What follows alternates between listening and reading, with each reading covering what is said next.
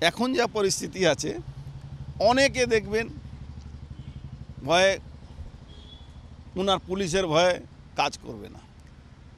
কিন্তু ভোট তো ভিতরে লোক দেবে। আমি যাদেরকে সবসময় তার পাশে দাঁড়িয়েছি, তারা সবসময় আমার সঙ্গে আছে, কেউ হয়তো সামনে আসবে না। মুখে এই দাবি করলেও কার্যক্ষেত্রে দেখা গেল সম্পূর্ণ উল্টো ছবি। ভাটপাড়া পুরসভার আস্থা ভোটে হেরে গেলেন তৃণমূল থেকে সদ্য বিজেপিতে যোগ দেওয়া অর্জুন সিংহ। আর সেই ঘটনার রেশ গিয়ে পড়ল বিজেপির দলীয় কার্যালয়ে? এই দিন দুপুর বারোটা নাগাদ, একুশ এগারো ফলে আস্থা ভোটে হেরে যান অর্জুন। দুপুর সোয়া একটা নাগাদ হামলা হয় ভাটপাড়া পুরসভার উনিশ নম্বর ওয়ার্ডের আতপুরে বিজেপির পার্টি অফিসে।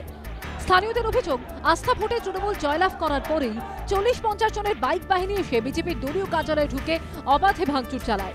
লাগিয়ে দেওয়া হয় আগুন। রেহাই পাননি পথ চলতি মানুষও। অনাস্থা ভোটে অর্জুন সিংহের পরাজয়ের পরপরই ভাটপাড়ার উনিশ নম্বর ওয়ার্ডে আতপুরে যে বিজেপির পার্টি অফিস রয়েছে, সেই পার্টি অফিসে কিন্তু ভাঙচুর হয়। আমরা দেখতে পাচ্ছি শুধু ভাঙচুর নয়, এখানে কিন্তু আগুনও লাগানো রয়েছে। আমরা দেখছি এখানে বেশ কিছু জিনিসপত্র পুড়ে রয়েছে।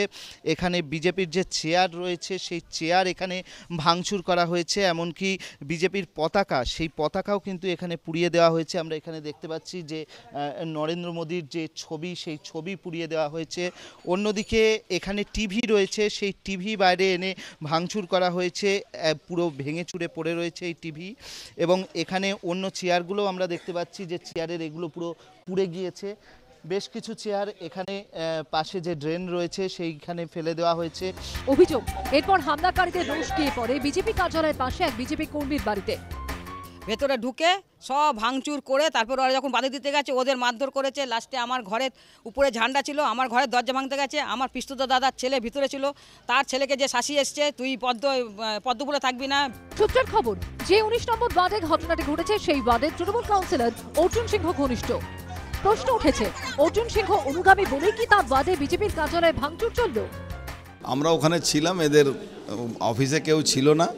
তার মধ্যে কুড়ি পঁচিশ জন এসে ওখানে আগুন ফাগুন ধরিয়ে দিয়েছে। মানুষ তো সঙ্গে নেই। এবার গুন্ডামি করে করে মানুষকে একটু ভয় দেখাবার জন্য করছে আর কিছু। যদিও হামলার অভিযোগ অস্বীকার করেছে রাজ্যের শাসক দল। তৃণমূলের কর্মী বান্টির বাড়ি ভেঙেছে এবং ওর সাথে যারা প্যারামিলিটারি রয়েছে সেন্ট্রাল ফোর্স যাকে ওকে দেহরক্ষী রেখে দিয়েছেন তারা বাড়ি বাড়ি গিয়ে আমাদের ছেলেদের মেয়েদের মারধর করছেন। এটা কি খুব ভালো কাজ? ও রুটিন করছেন।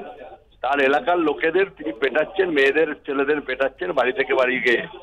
দীর্ঘদিন অত্যাচার শোষণ দুর্নীতির সাথে বিজেপির নেতৃত্বরা জড়িত। মানুষ কোথায় কি করবে তার দায়িত্ব তো তৃণমূল কংগ্রেস নিয়ে বসে নেই। তৃণমূল কংগ্রেসের এক নম্বর বঙ্কিমনগর কলোনির প্রতিটি তৃণমূল কংগ্রেসের বাড়িতে গিয়ে ওপেন ফায়ার হয়েছে। তারা সন্ত্রাসের বাতাবরণ তৈরি করতে চাইছে। ঘটনাস্থলে উত্তেজনা থাকায় চলছে পুলিশি টহল অর্ণব মুখোপাধ্যায় ও পালের রিপোর্ট এবিপি আনন্দ উত্তর চব্বিশ পরগনা।